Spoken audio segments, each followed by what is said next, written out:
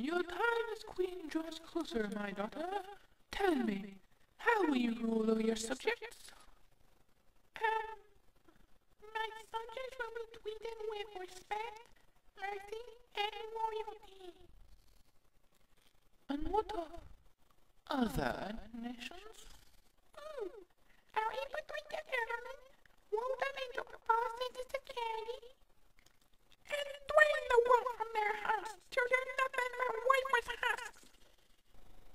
my daughter. Now join me in evil laughter.